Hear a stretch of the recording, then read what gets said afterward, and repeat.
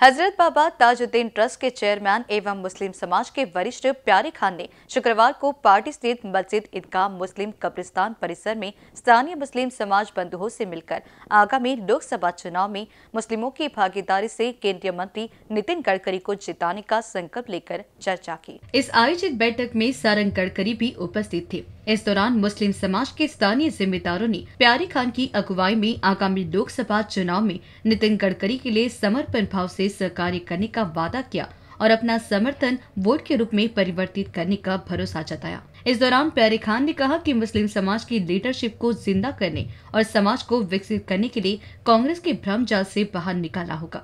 तभी हम अपनी ताकत से हर दल को चेता सकेंगे। जब तक अपनी ताकत नहीं दिखाएँगे, समाज पिछड़ता ही जाएगा। खान ने कहा कि नितिन गडकरी वो शख्स है जो आपका वोट नहीं मिलने पर भी आपका काम करते हैं। लेकिन सोचिए, जब आप उन्हें अपना वोट देंगे तो उन्हें भीतर से जो खुशी मिलेगी, वह सबसे अहम होगी। ये मुसलमानों के इशू पे बात हुई, जो मुसलमानों को इतने सत्तर सालों से जो पार्टियाँ छल कर रही थी, बस उसी से जगाने के लिए और मुसलमानों को मुसलमानों का हक दिलाने के लिए है। उनको जो बेदार नींद में जो सोए उससे हम उनको जगाने हैं। बाकी ऐसा कुछ ये नहीं है, मैं कोई पॉलिटिकल व्यक्ति नहीं है। ये मेरे जो दोस्त है, वो भी पॉलिटिकल नहीं है। हम खाली हम हमारा हक मांगने हैं। जो मुसलमानों को हक जो गडकरी साहब ने दिलवाया और जो उन्होंने बताया कि भाई तुम भी इस देश में, तुम भी कुछ ना कुछ चीज़ों के भागीदार हो करके तो ऐसे मैंने मुसलमानों के, उनके थ्रू कई काम करवा दी अब जाके मुसलमान जो कौम है, वो जाग रही है और उनको विश्वास हो रहा है। जब काम होते तो ऑटोमेटिकली विश्वास होता है। तो जैसा ताजबाग का काम हुआ, उससे मुसलमानों को बहुत सारा विश्वास हुआ है। मुस्लिमों के लिए, लाइब्रेरी के लिए 20 करोड़ रुपए गडकरी साहब ने इनको, क्या बोलते परवीन दक्के जी को बोल के दिलवा दीजिए, दिलवा दिए। उसके बाद एक कब्रस्तान था, यहाँ पे उसको सवा करोड़ रुपए दिलवा दिए। उसके बाद, क्या बोलते तुम्हारा जो गोरेवाड़ा में पाँच एकड़ ज़मीन, वो दिलवा दिए। ताजबाग को एक पानी का टंकी दिए, मुसलमानों के लिए एक एंबुलेंस दिए। उसके बाद बच्चों के खेल के लिए एक मैदान दिए।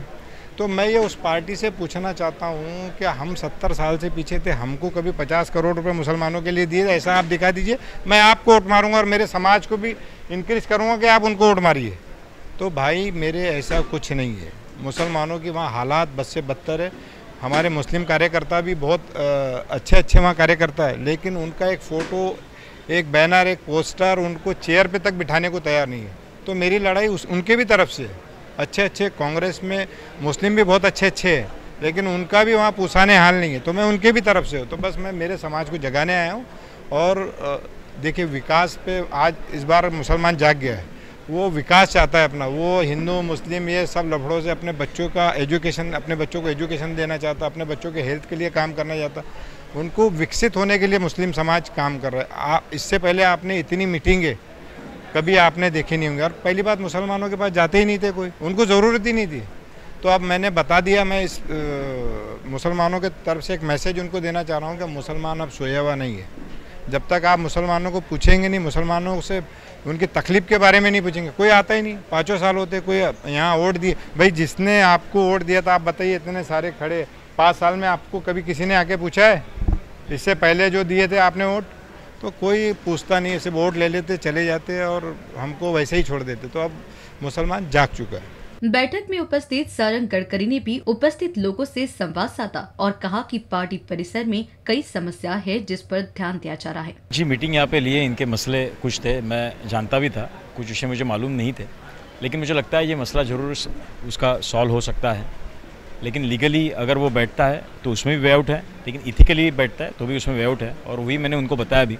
सामने का जो एक एकड़ का ये था, वो ऑलरेडी विषय मार्ग में लगा हुआ है, वो सॉल्व हो गया है। पीछे की इसमें ये आने वाले साल भर में वो भी सॉल्व हो जाएगा, ऐसा मुझे लगता है। और मैंने वो आश्वासन भी दिया, और मुझे विश्वास है कि वो होगा। इस दौरान मस्जिद, ईदगाह, मुस्लिम कब्रिस्तान परिसर के स्थानीय लोगों ने अपनी समस्याएँ रखी। लोगों ने इस बार नितिन गडकरी को लेकर सकारात्मक प्रतिक्रिया दी और भारी वोटों से जिताने का विश्वास जताया। देखिए, कैसा है, गडकरी साहब हमारे लिए और हमारे इस एरिया के लिए कोई नए तो है नहीं और मुस्लिम समाज के भी लिए नए नहीं है। लेकिन ऐसे कुछ बाहरी जो, कुछ नए जो, नए नेता जो आते हैं, उनको बहलाते हैं। हालाँकि यहाँ पे साहब का जो इन्वॉल्वमेंट है मुस्लिम समाज से और इस मस्जिद से, ये करीबन 90 से 90 के दशक से जब 95 में यहाँ पे मसला हुआ था, मस्जिद का जब कंस्ट्रक्शन शुरू था हाई टेंशन लाइन है, आज भी आपको दिखती है टावर है, जो ऐसा स्ट्रेट था, जिसके कारण मस्जिद तामीर नहीं हो सकती थी, काम रुक गया था, आठ दिन काम रुका हुआ था। जब मुझे पता चला, मेरे बड़े भाई की तरफ़ से, कि ऐसा ऐसा मसला हुआ है तो एक दिन मैं साहब से जाके मिलने लगा, क्योंकि साहब के मेरे परिचय थे उस समय से। तो मैं जब साहब से मिला तो पहले मीटिंग में उन्होंने मुझे बुलाकर बोला कि भाई, क्या मैटर है तेरा? जबकि मैं उनके साथ में मलबा रील पे दो महीना रहा था। इसलिए वो करीबिया मेरी हो गई थी साहब से। तो जब मैंने साहब को बताया कि, सर ऐसा ऐसा विषय है तो साहब ने पाँच मिनट नहीं लगाया उस मसले को हल करने के लिए। जो एमएससीबी हमें नब्बे हज़ार रुपये का एक डिमांड भरने के लिए बोल रही थी, वो हमें नब्बे रुपये भरने की ज़रूरत नहीं पड़ी। तो साहब के पास में हम लोग ये मसले के भी लिए गए थे कि हमारा एक कब्रस्तान का जो मसला है, जो नेशनल हाईवे ने जो हमारा आधा कब्रस्तान अपने प्रोजेक्ट के लिए लिया था यहाँ पे बोलते हैं कि साहब का ड्रीम प्रोजेक्ट है। मटन मार्केट, फ़िश मार्केट और यहाँ पे पार्किंग जोन दिया था उन्होंने। तो हमने साहब से मिल के यहाँ का पार्किंग जोन तो कैंसिल किया। लेकिन हमारा मेन मकसद कैसा है कि ये जो कब्रस्तान है, एक इसी तरह का कब्रस्तान हमारा पीछे में जहाँ ईदगाह है। ईदगाह भी है और कब्रस्तान भी है। तो वहाँ पे उन्होंने मटन और फ़िश मार्केट का प्रोजेक्ट लाया हुआ है। तो हमने उसके अगेंस्ट भी साहब से मीटिंग की। साहब ने, साहब के पीए ने, जोशी साहब ने, काड़े साहब ने विषय को समझा। जो आर्किटेक्चर थे चिजगरे साहब, उन्होंने ड्राइंग को समझा और वो हमने प्रपोजल दिया है और साहब ने लेटर भी दिया है कलेक्टर को दिया है एनआईटी को दिया है कॉरपोरेशन को दिया है कि इनका प्रॉब्लम सॉल्व करो।